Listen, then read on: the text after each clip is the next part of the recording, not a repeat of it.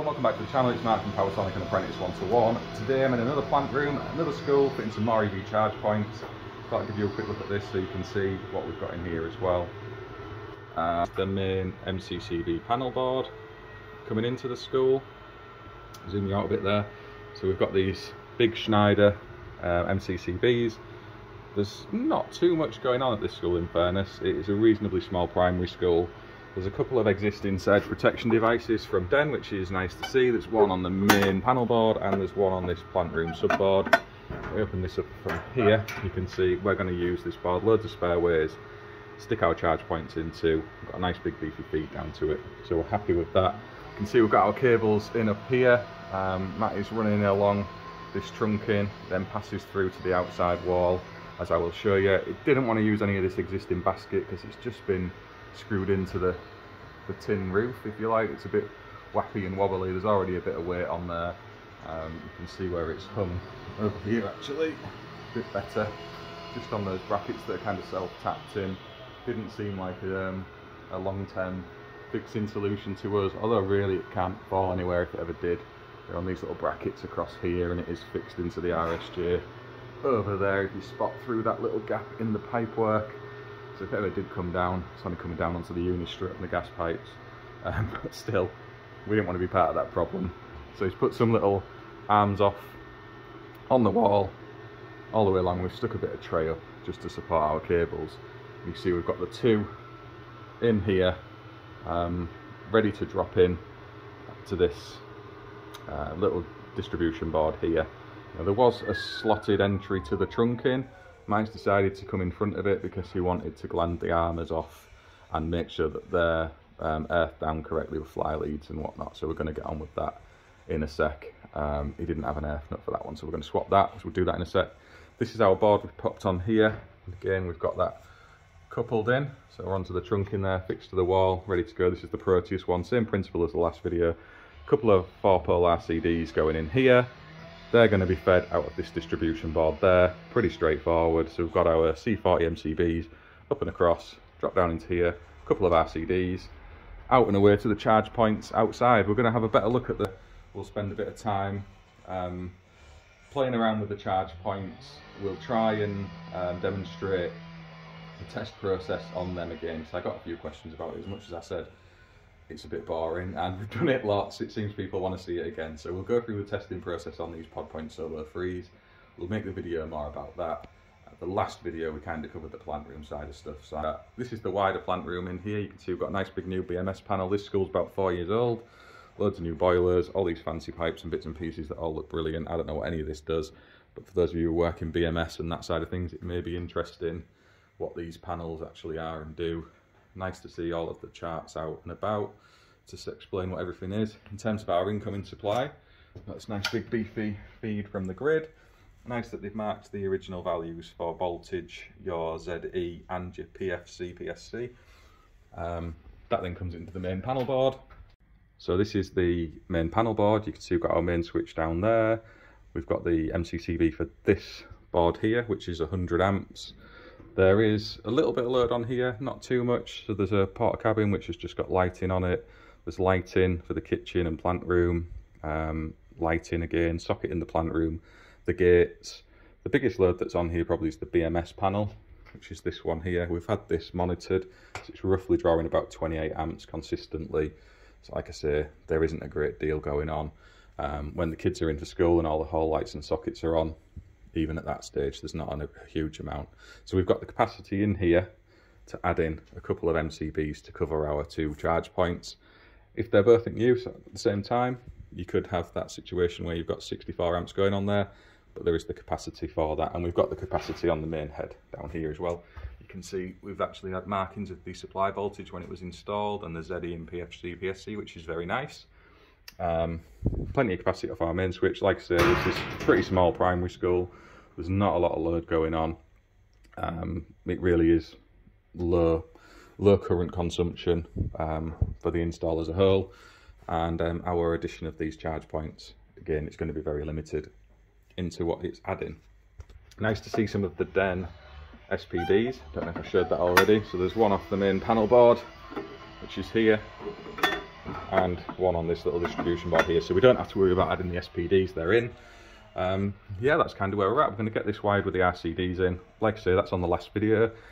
Try and keep these to around 15-20 minutes, so I'm not going to show that on this one, but we've got two 4-pole RCDs in there. We're then coming out and across into these two MCBs which are going to then protect those circuits with overcurrent protection, leading outside into our charge points. And we'll go outside there and we'll run through the test process. Nathan's out there now just looking inside him and making sure he's wired him up correctly with Matthew last week. He wants to have a final little check in there. We'll go and see what he's up to. We'll run through the test process once I've got this lot all connected and energized. Outside in just a minute. So another school and this is the two pod point chargers on the wall. You can see we've got our tray up and away, cables exit. That's got the sleeves through the wall. I don't know if any of you used these before, but it's basically a bung that sits into the masonry and runs through the cavity as a little drip loop in. I'll show you one on another install we're doing soon, but it's a way of making sure you get a, a fully watertight seal within a cavity. Um, straight up into our chargers here, these are bottom entry. Nathan's going to open them up because we need to make sure we've done the phase rotation right and a few other little checks. So we're going to have a look at that and make sure we're all happy there.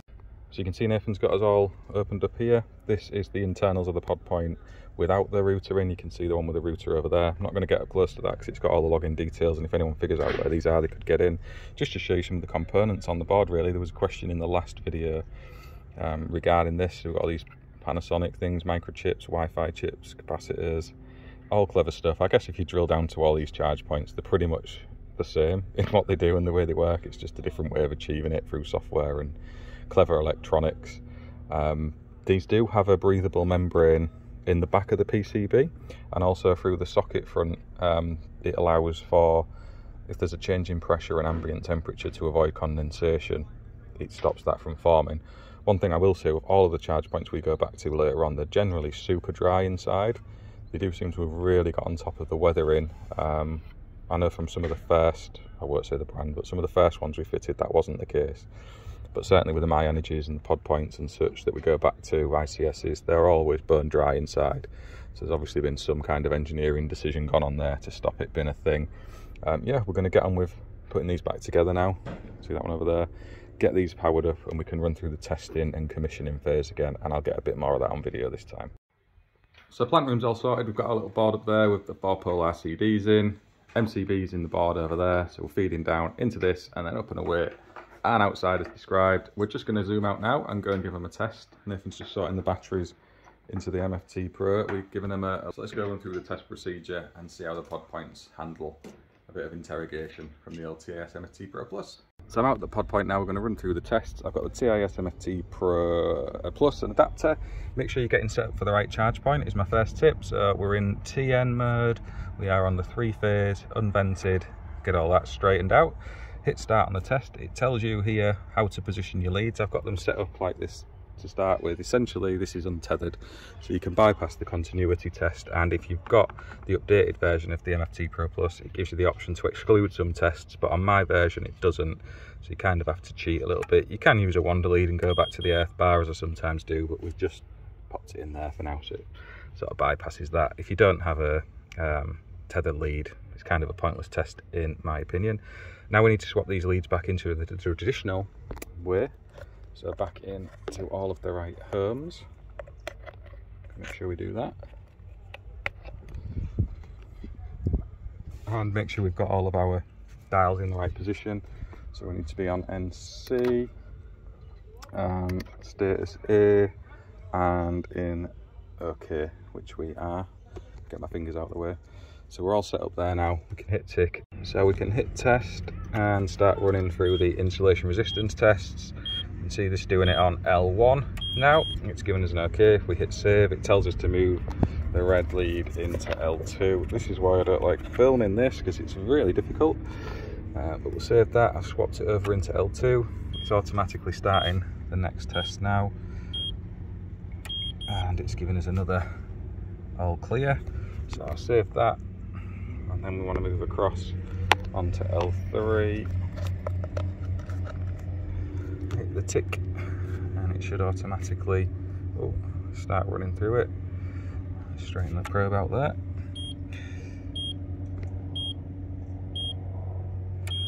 And there we go and now it's going to go on and do the neutral as well straight away.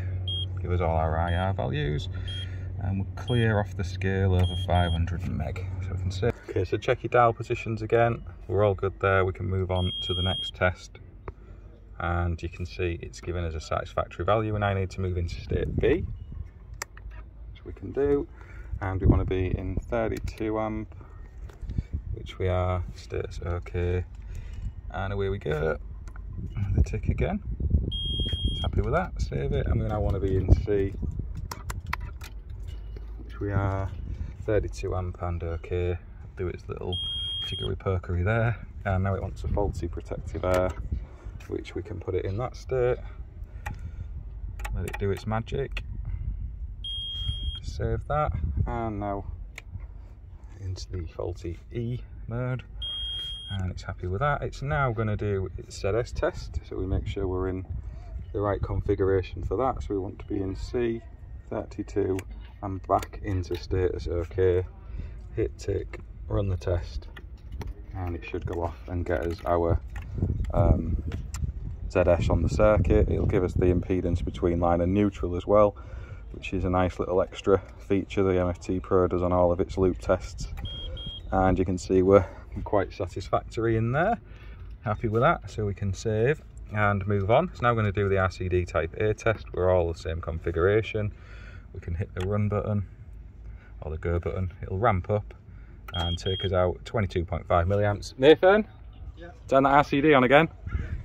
Nathan's living life at the minute. He's done this about five times already off camera while we've tested both of these and now I'm trying to get one on camera for you guys and you should see that that in a minute he's restored the power i'm just going to swing it over to mode A and back to c just to reset the internal rcd that i believe this pod point has well i know it must have because it keeps doing that um, so we're in 32 c and okay so we're going to do our 6 milliamp dc leakage test now this is the one i was interested in seeing with the pod point so you can see i've just reset it i've got it into status c 32 amps and okay we're going to hit the test button and see how it behaves. So you can see the TIS MFT Pro Plus slowly ramps up.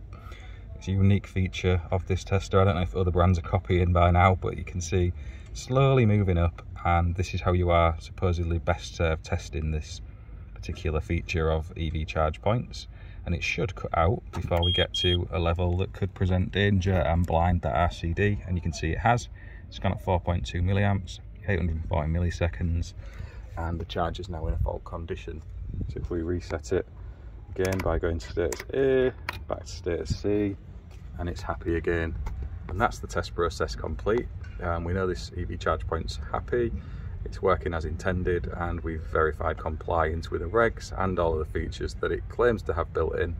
And I have noticed it must have some sort of Type A RCD internal to it because it's operating that on occasions alongside the RCD inside and it needs resetting with the adapter by moving state A and then back to there's some electronics going on there but we'll have a little chat about that in a minute.